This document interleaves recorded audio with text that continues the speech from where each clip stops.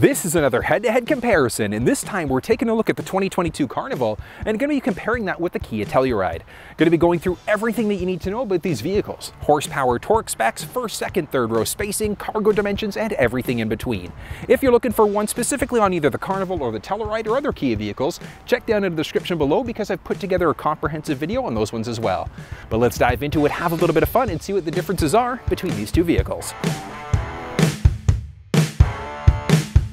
Looking at some exterior styling of the vehicle, I love the look of this thing. Really, really sharp. Styling wise overall, I can appreciate what Kia has done from a design perspective. But looking at some of the basics, the rubber itself on the vehicle, we're looking at either 18 or 20 inch tires, just depending on which trim level of the vehicle that you're looking at. And we do have a series of different options for the rim. Because we're in the SX Limited, we've got this beautiful aluminum rim. When we get into some of the blackout packages, it's gonna change the complete dynamic look of the vehicle as well. Now, as we start to move forward, we've got our LED headlamps and our fog lamps. Those are going to be standard on the entire vehicle lineup. And looking along the very front, I love the Telluride badge in the front of the vehicle there. And then with Kia's new logo just along the front in this beautiful black honeycomb grille, I think looks really, really sharp in this thing. The styling of this thing is fairly unique. It's like Kia decided that they wanted to make a van without actually making a van. So it's a kind of an interesting design choice, but it does work for what they're accomplishing with this vehicle. Looking at the actual tires themselves, we've got two different options depending on the trim level of the vehicle that we're in. It's either going to be a 17 inch tire or a 19 inch tire like what we're looking at here. Because we're in the EX premium version of the vehicle, so the EX Plus, we do have Continental rubber on this one with this unique rim. And that's going to be dependent again on which trim level of the vehicle you're looking at. But as we start to move forward, one of the nice things about the Carnival is that we do have LED headlamps, and that's going to be standard across the entire vehicle lineup, and we do have our fog lamps down below as well. Now, depending on which trim level of the vehicle you're looking at, like this specific one does have that forward facing camera as well, which means that we've got a full 360 view. Now that 360 camera goes in tandem with the front camera. We've got some cameras underneath the side view mirrors, and then we've got our backup camera as well, which stitched together gives us that full view. Taking a peek underneath the hood of the vehicle, and this thing looks really, really clean. Now, it's because obviously it's a newer vehicle, but it's just organized nicely. Now, Kia did opt for the actual engine cover there, which just hides some of the mechanical components people don't necessarily like the look of. But looking at it, this thing does only have one available engine choice, whether you're in Canada or the US, and that's the 3.8 liter V6 that we're looking at here. From a power perspective, this thing is going to be able to push out 291 horsepower and 262 pound-feet of torque. So plenty of power when it comes down to it. And this thing is actually paired with an 8-speed automatic transmission. But I do love the overall look and the aesthetics of this thing under the hood, and Kia has given easy access to a number of things. So we can easily top up some fluids if we need to. We can easily check our oil, and then we've also got easy access to the battery, which is kind of nice. All right, now taking a peek underneath the hood of the Carnival. So this thing is powered by a 3.5 liter V6 engine, so a naturally aspirated non-turbocharged engine. And there is only one available engine choice for the Kia Carnival. From a power perspective, this thing is going to be able to push out 290 horsepower and 262 pound-feet of torque. Right now, moving to the back of the vehicle. So we've got our rear wiper, which is always a nice touch. We've got our Kia and Telluride badges there, as well as our LED tail lamps. Now it might be LED, might be halogen, just depending on which trim level of the vehicle that you're looking at. From a towing perspective, this specific one does not have the hitch receiver. If you did have that, you'd be able to tow up to 5,000 pounds in this vehicle. We do have a dual tip exhaust just along the right-hand side there as well. All right, so cargo dimensions for the vehicle are going to be showing up. So as you can see there, we have plenty of width, depth, and height to the cargo area. Now that's just it. It's the cargo area by itself. So it's literally just this area that we're measuring right now. So we don't have a ton of space just here. But one of the nice things is that we can also lift this thing up and it's a completely removable tray. And we have a little bit more storage space right underneath as well. Now, folding the third row down is also a very straightforward process, and it's a manual process. So literally all we're gonna do, we're just gonna take these, we're gonna crank it, and that's gonna lower the headrest automatically, and we can just push this down, and it is a flat fold, which is great. Same thing along the other side, we're just gonna crank that, fold down as well, and we are set to go. But look at the difference in the depth when we have that third row folded down. So a lot more space, which is a nice thing. Now, folding down that second row, we've got a couple different options because we've got a button just along the back here, and that's going to let us power fold either the left or the right side down independently of one another. If we had the bench seat instead, same thing, it would just be a release for those other ones as well. But if we hop into the side, so if you're not in the trunk area, you need to load some things up, we can, just along the side there, pull this little latch, and that's going to literally fold the seat down there as well. But look at the difference in the cargo dimensions when we've got that second row folded down. So a lot more depth. And like I said, I do love the fact that we've got a split seat there. So we can fold down one side or the other if we wanted to. And it's a very straightforward process in order to be able to do that. All right, now as we start to get inside of the back of the vehicle, so as I mentioned, this tray, we can easily remove this, gives us a little bit more space as well. Now, the, the spare tire for this thing is actually located just underneath the vehicle, so we need to unlock a part of it first in order to be able to take that tire off. Very straightforward there. Looking along the left-hand side, we've got two different buttons, and that's going to be for the second row, so we can release that second row there electronically. And then we've also got a 12-volt power point, so we can plug some things in in the back if we need to. As we jump into the back of the vehicle, so we've got our Kia logo along the very top, Carnival badge along the bottom left-hand side. Now, a few things that are going to be standard regardless of the trim level that you look at. We do have our rear wiper that's kind of hidden right underneath the top lip there. We've got our backup camera, which is also going to be standard, as well as a reverse sensing system, so that park sensing system. Now, we do have the flexibility of being able to turn that beeping off if it drives you nuts, but it is nice to know that we've got some great technology standard inside of this vehicle. Now, this specific one doesn't have the tow package, or it doesn't have a hitch, I should say, but we do have that option. And when we get the hitch, whether we install that aftermarket through the dealership, whatever the case may be, this vehicle is going to be able to tow up to 3,500 pounds. All right, now cargo dimensions for the vehicle are going to be showing up. And one of the nice things about the Kia Carnival is that we do have stowable seats. So these third row, we can actually fully stow them down if we wanted to. But we do have a ton of space in the back here. So we need to throw things like strollers, buggies, whatever the case may be. We've got quite a little bit of space in the back here before we have these seats folded down. So something to think about. But in order to actually be able to stow these things, it's also very straightforward. So firstly, what we're going to want to make sure we do is lower the headrests on both of the seats. And we've got a little pull lever there. So we're literally just going to pull, and that literally is going to fold the seat down. Gentle push, and it's locked into place. So we can do that both sides, so driver, passenger fold seat down, but we've got a flat fold there as well. But look at the difference in the cargo dimensions when we've got that third row folded down in the stowable seat. So a lot of flexibility and we've got quite a little bit of space when it comes down to it. Now, one other thing to note, I've got a few different dimensions that are showing up now as well. So very first one is going to be now from the stowable seat. So very bottom of the seat there to the very top loading area. There's gonna be another one where we're just inside and we're going down from the very bottom there up to the very top because we got a couple extra inches of space when we fold it down that way as well.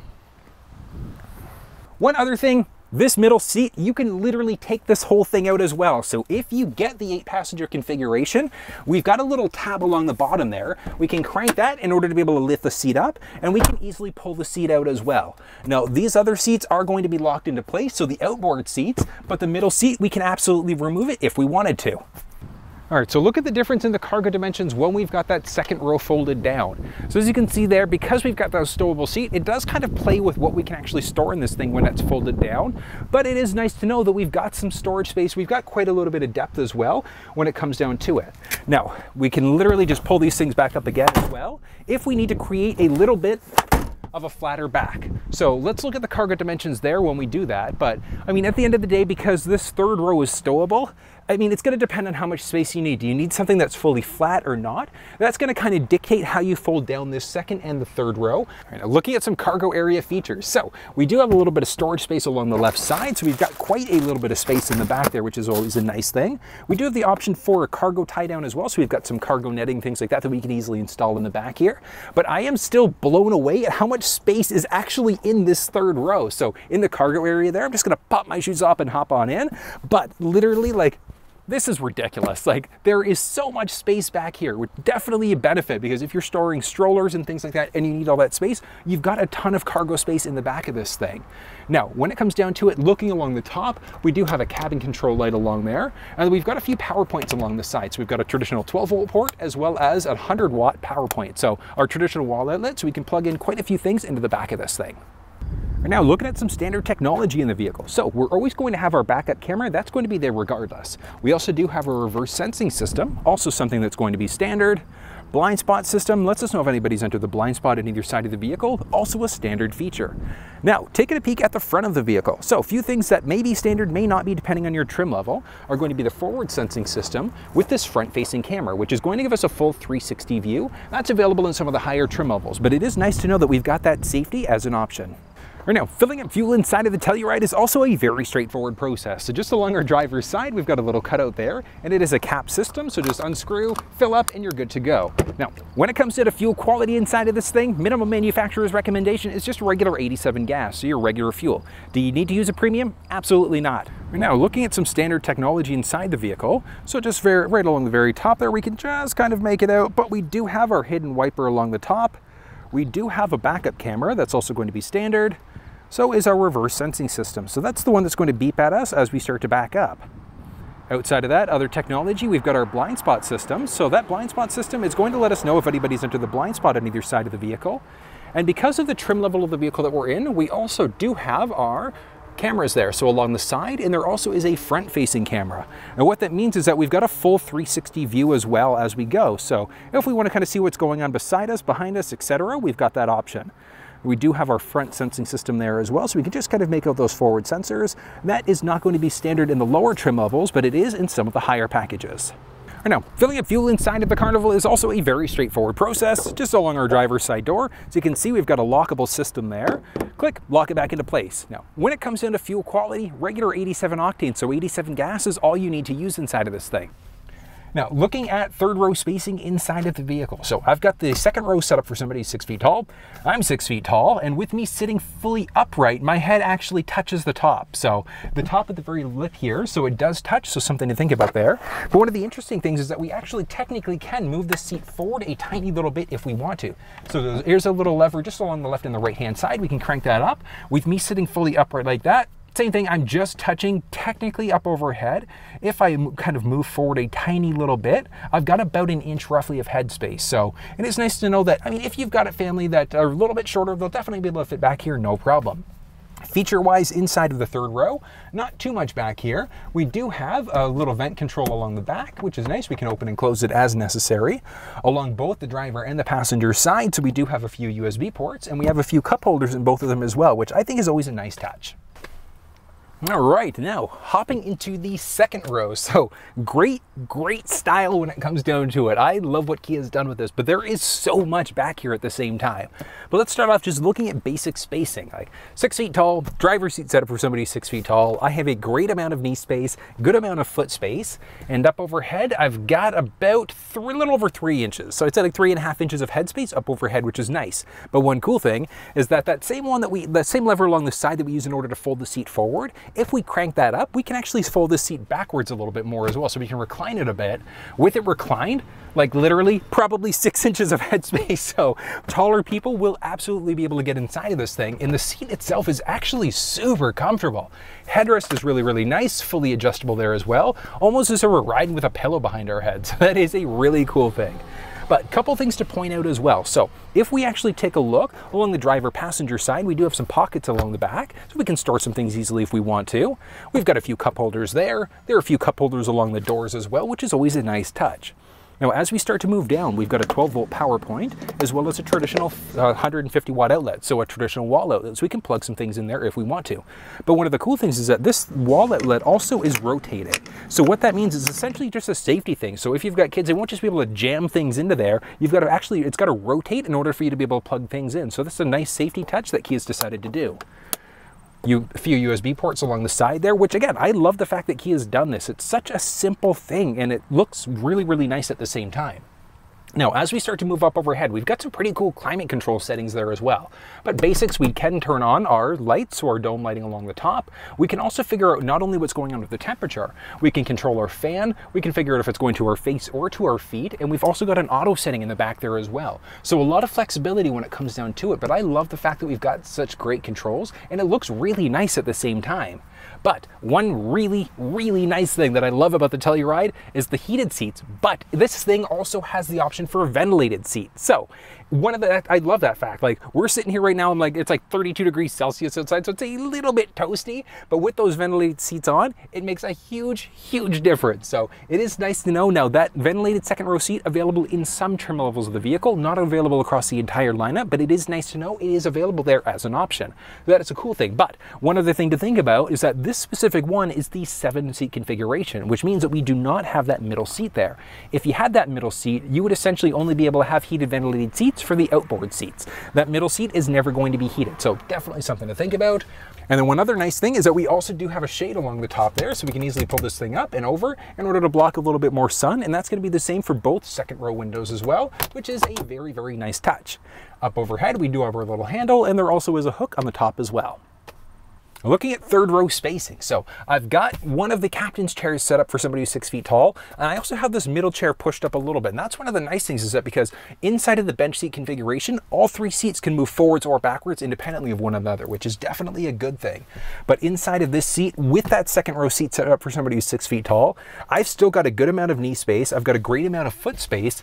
And up overhead, I've got about an inch and a half roughly of head space when I'm fully upright. So definitely something to think about. If people are a little bit taller, you might have to get them sitting in that second row instead though. So something to think about there. But one of the cool things is that we also can recline this seat. And that's one nice thing because we can recline the third row. We can also recline that second row. So when I'm reclined back and I'm super comfortable by the way inside of this thing, up overhead, I've got a little bit closer to about three inches of headspace before my head would potentially hit up overhead there. So definitely something to think about, but it is nice that we've got the flexibility to be able to recline that second and the third row.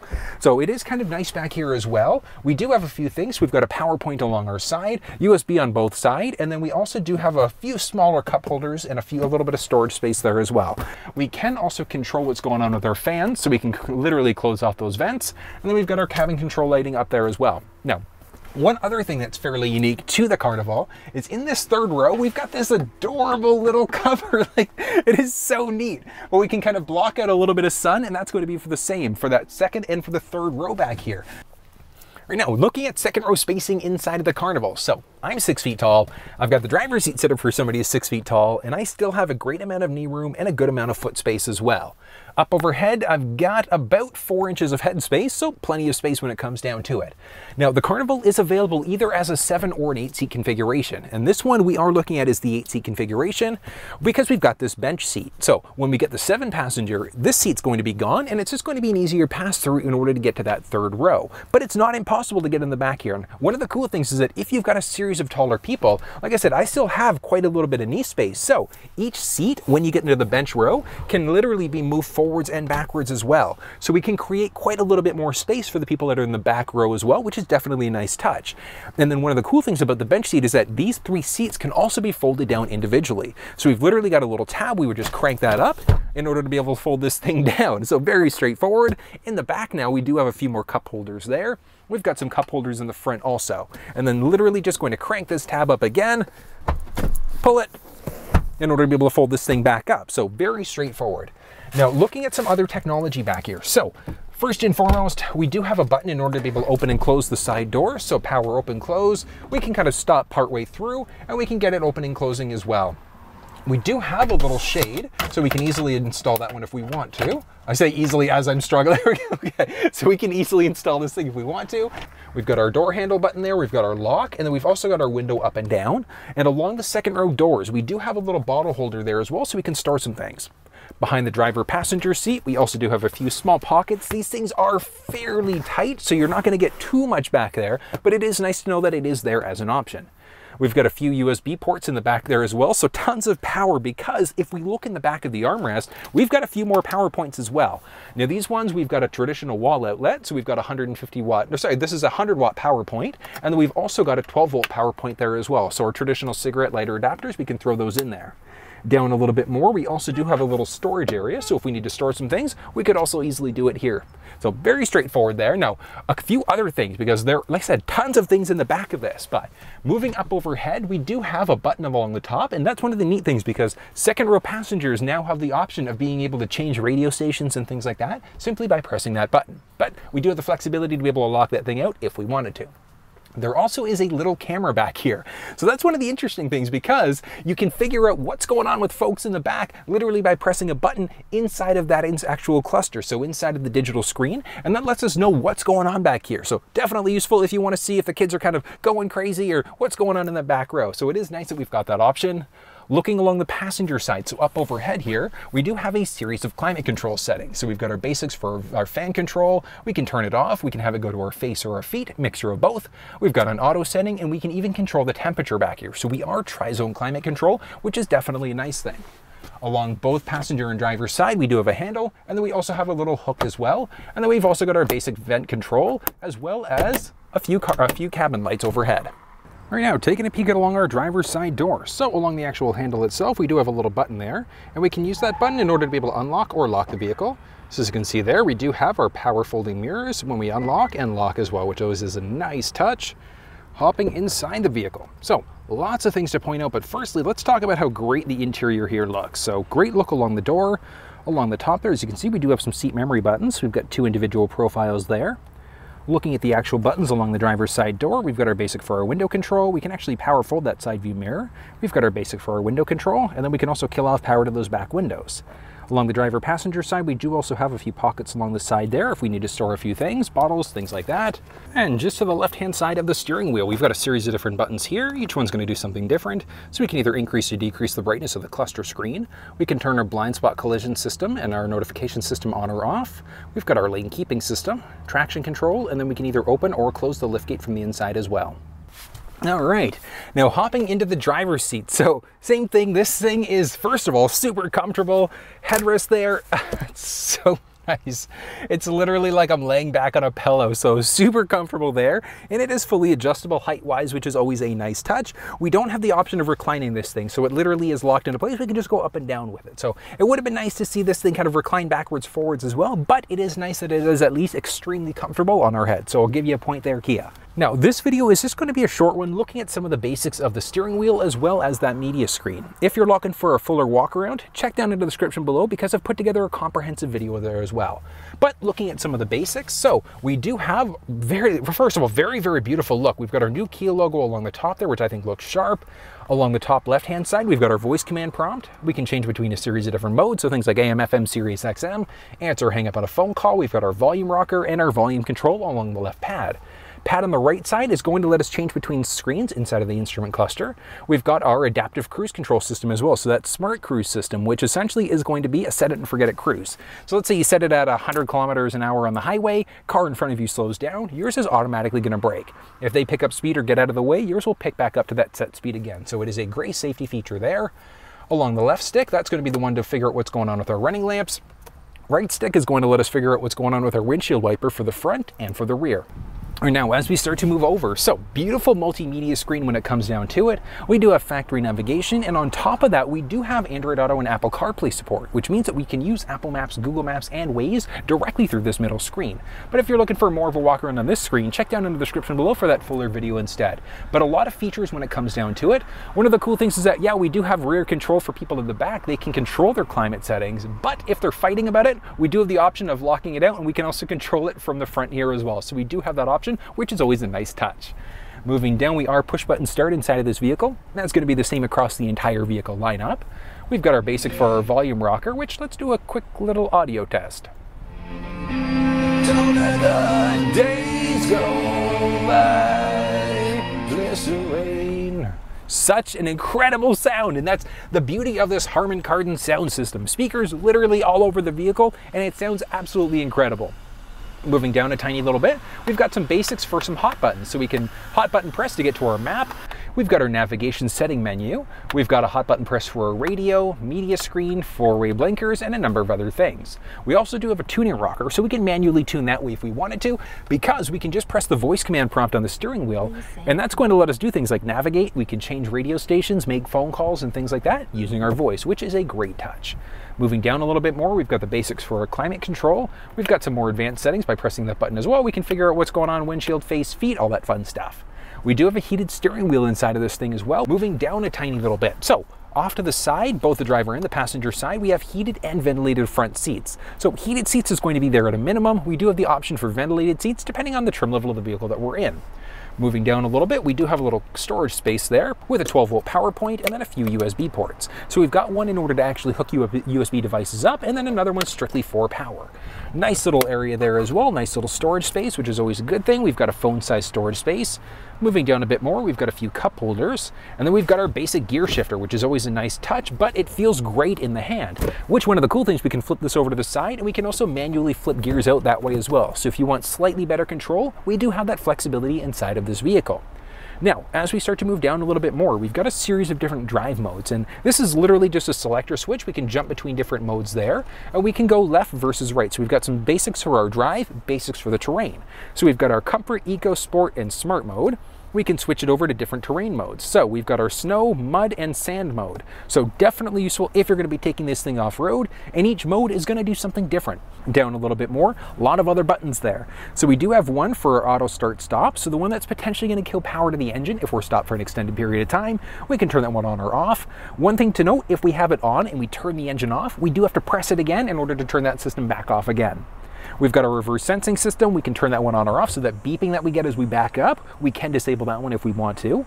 We've got our parking brake, so electronic parking brake. We've got our auto hold setting, which I've always loved the auto hold setting because what that does is with the setting engaged, if you come to a complete stop and take your foot off the brake, the car is gonna hold in place. So definitely useful if you're on distance trips, stop and go traffic, things like that, and you literally just wanna be able to stretch your legs out as you go. We also do have your My View. So that view itself is going to give you that option of looking at that full 360 view also, which is always a nice thing. Now, as we start to move down a little bit, we've got our armrest with a little storage area, and we've got another USB port there, and we've also got a removable tray. Now, one other cool thing about the Telluride is that we do have the blind spot monitor as well. So we press that left turn stick, right turn stick, whatever the case may be, and it's going to show us what's going on beside us. So yeah, we've got that blind spot system, but we've also got the blind spot monitor as well. As we start to move up overhead, we do have our auto dimming rear view mirror, and we've got a series of different buttons. So we've got our home link, so if we've got a garage door opener at home, we can program in our garage door opener there, and a few on-off buttons buttons.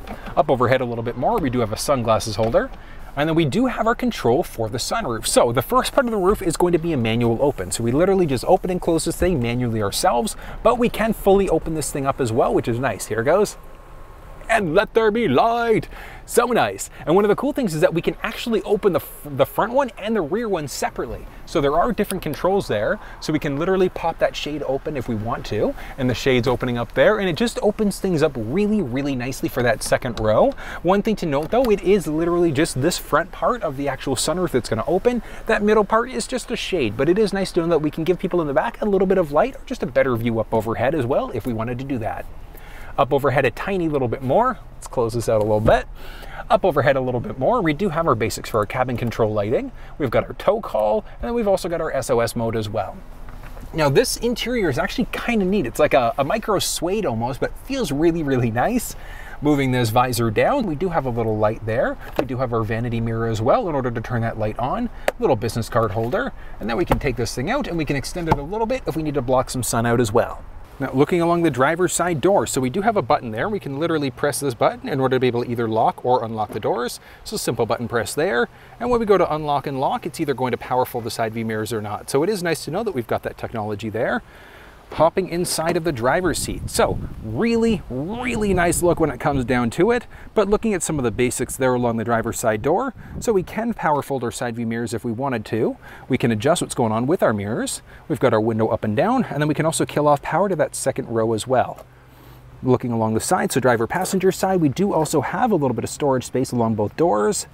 Just to the left-hand side of the steering wheel, we can either increase or decrease the brightness of the cluster screen. We can turn our lane keeping system on or off, and then we've got our traction control button. Down a little bit more, we do have the option of either opening and closing those second, the second row doors, so we can hold these in order to power open or close. We can open and close the trunk, and then we've also got our basic button for the power door, so we can turn that one on or off if we want to. Big one there is just so that people in that second row can't press the button in order to be able to open the door up. All right, now, I gotta say, the initial look of this thing absolutely beautiful because we take a look and we've got a fully digital dash stretches across. We've got a beautiful media screen there as well. Now, one thing to note, the media screen inside of the base, so the LX trim level of the vehicle, is going to look different than it will in the EX and the higher premium, uh, the higher trims as well.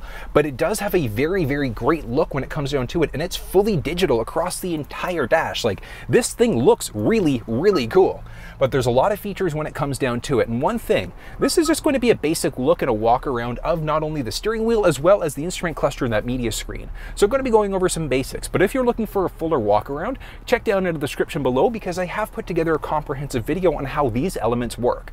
But let's look at some of the basics. So first and foremost, the actual seats themselves. So driver passenger seat in the front row are going to be a power adjust. Now in the driver's seat, slightly different than what you're going to find in the passenger seat, but I'll show you that in just a second. So driver's seat, we've got a series of different toggles along our left-hand side. First one is going to bring the seat forwards, backwards. We can go up and down with it. The next one is going to be for our backrest, so backwards and forwards. And then we've got one for our lumbar support, so a little bit of extra stability in our lower back. Now, one of the interesting things with the seat all the way down and back, back, back, back, back, back, back. There we go. Okay. So tons of room. And like when it's stretched out like that, like I've got like a crazy amount of headspace. Like I've got like six, almost seven inches of headspace up overhead, which is kind of a nice thing. Now that's one thing because I'm six feet tall. So when I've got the driver's seat set up for somebody six feet tall, nice and comfortable, up overhead, same thing. Like I've got almost six inches of headspace. Like that is kind of ridiculous. So definitely nice to know. Taller people are absolutely going to be able to fit inside of this thing. Adjusting the steering wheel across the entire vehicle lineup is going to be a manual process. So just by our left knee, we've got a little lever there. We're just gonna crank that down and it's telescopic. So in, out, up and down, perfect position, click it in order to lock it back into place. Now, looking at some of the other technology inside of this thing is kind of neat.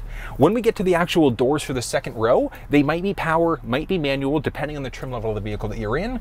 We've also got the flexibility of turning on our lane keeping system. So lane keeping system, we've got two different versions of it. The base one, essentially, think of it like bowling lanes. So you turn that one on, once you hit a certain speed, if you start to veer over without signaling, the vehicle literally is going to gen gently kind of nudge you back into your lane. So literally those old school like bowling lanes that you saw when, you know, just to make sure that you didn't get a gutter ball. It's essentially that idea. So you're kind of bouncing forward, you know, back and forth between lanes. But there is one thing to note the vehicle does need to recognize the lanes in order for that system to work.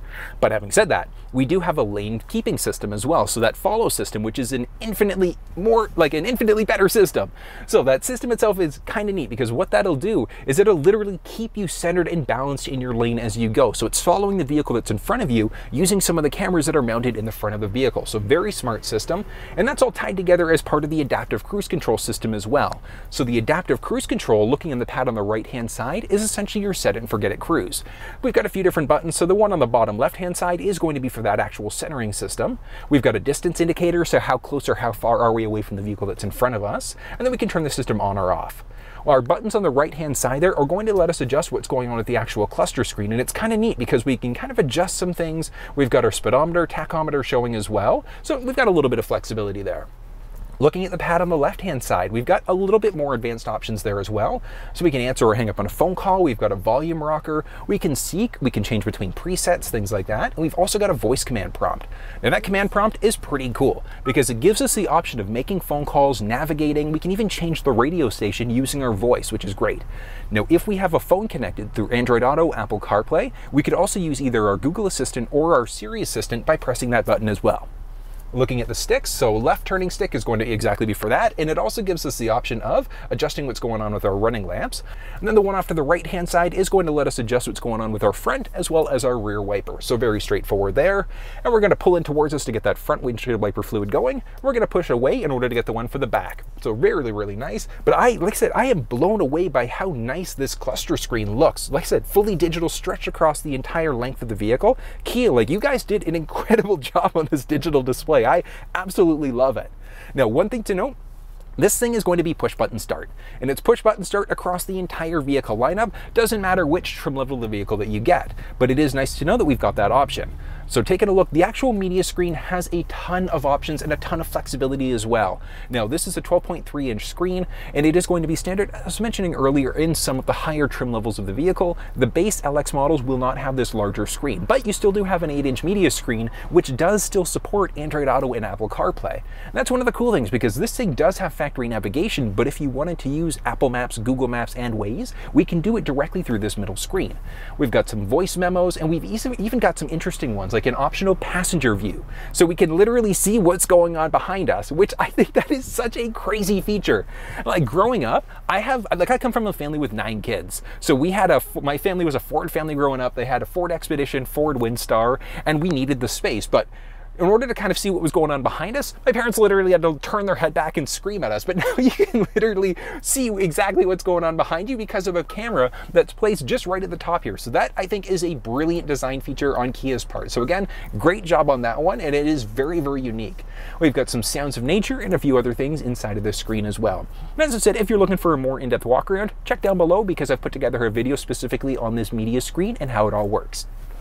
Down a little bit more, we've got a volume rocker. We've got our tuning rocker, which the tuning rocker, honestly, because we can tune using our voice, unless it's going to be the passenger tuning, just use your voice instead. So it's kind of neat that we've got that option. And then we've got a series of different button presses in order to jump between each screen. And this is kind of cool because it's a it's like a tactile it's not a tactile button it's literally like a little push button and like it's kind of neat what Kia's decided to do with this thing i think it looks absolutely stunning as we start to move down, we've got our front and rear window defroster, and we've got dual zone climate control inside of the front, and then we've got a tri-zone, so the people in the back also have the flexibility of being able to control what's going on with the cabin control temperature. So I think that's kind of a neat one.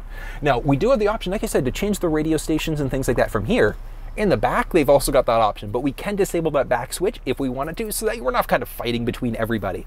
And that's the same way with the climate control settings there. So in the front, we do have the option of locking out that back climate as well, and we can adjust it as we want to, just in case the people in the back are fighting a tiny little bit. Moving down, we've got our basics for our climate control. Again, touchscreen, and it looks really sharp as well.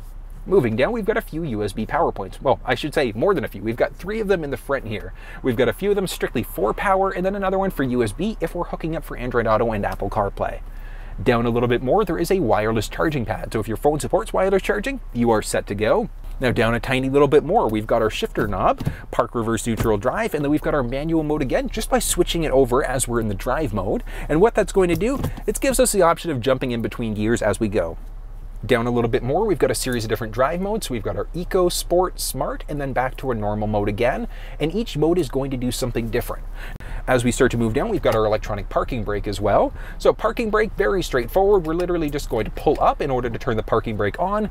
We're going to hit the brake, the pedal, and then we're going to push that down in order to turn the parking brake off.